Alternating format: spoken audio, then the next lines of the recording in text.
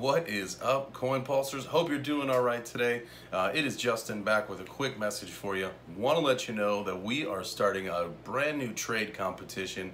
Uh, it is going to be going live pretty soon on the CoinPulse Exchange. We are going to be giving away 25,000 CPEX tokens every single week.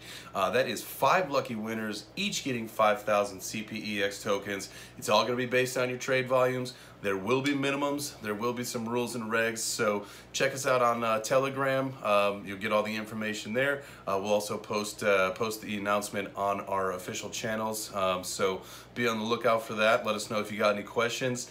Good luck, happy trading, and we'll see you soon.